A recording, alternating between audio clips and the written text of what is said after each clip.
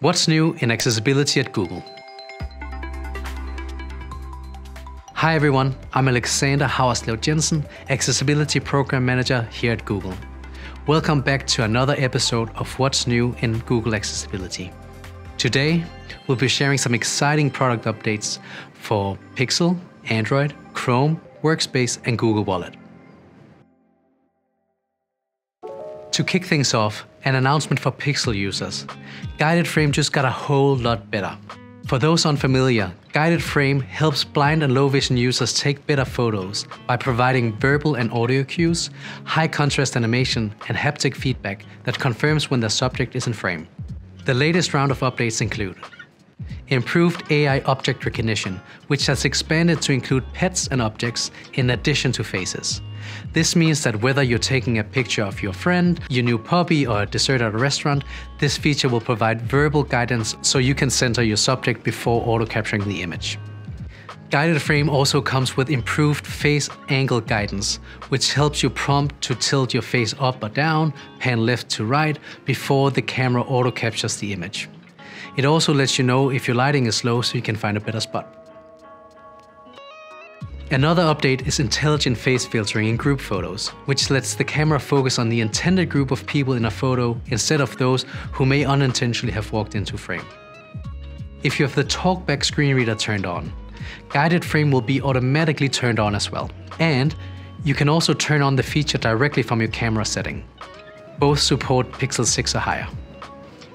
In other Pixel news, the Magnifier app, co-designed with the low vision community, also got an upgrade that leverages AI. In addition to helping people see things that are far away or that are difficult to read, the Magnifier app can now be used to search for and zoom right into specific words in your surroundings, like finding gluten-free items on a menu or gate numbers at an airport.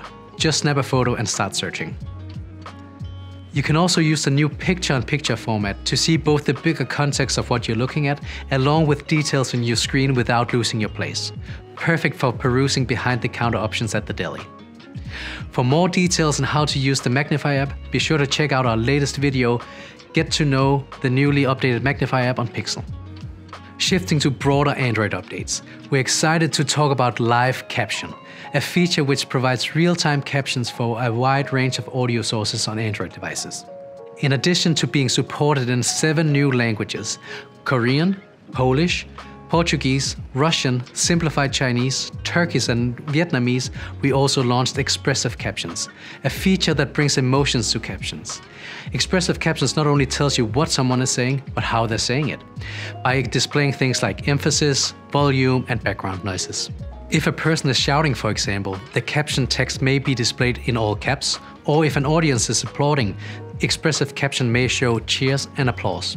Expressive Captions is available in the US, in English, on any Android device running Android 14 and above that has live caption.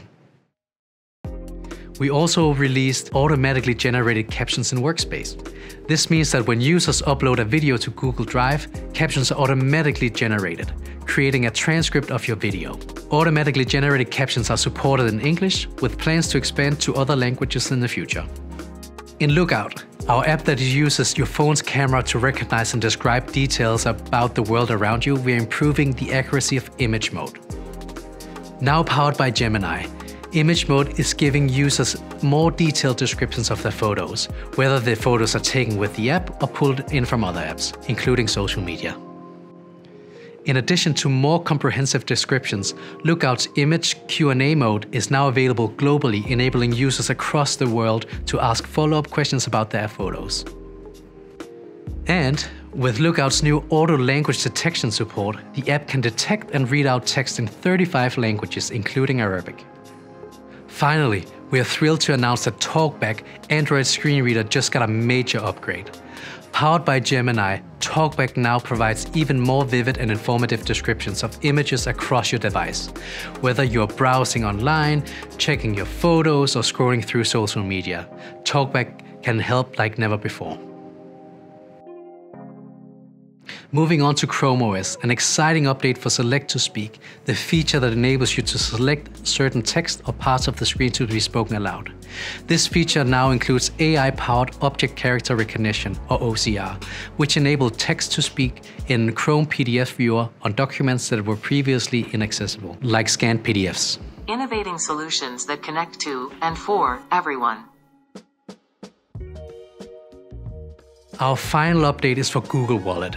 Recently, we released an update that makes it easier for blind and low vision users to save their state issued IDs to Google Wallet. Screen reader users will now receive verbal directions on how to position the phone camera to take a clear image of the ID, as well as audio and haptic feedback in real time. That wraps up this episode of What's New in Google Accessibility. Thanks for tuning in. Be sure to check out our YouTube video description where we've linked to more details about many of these updates.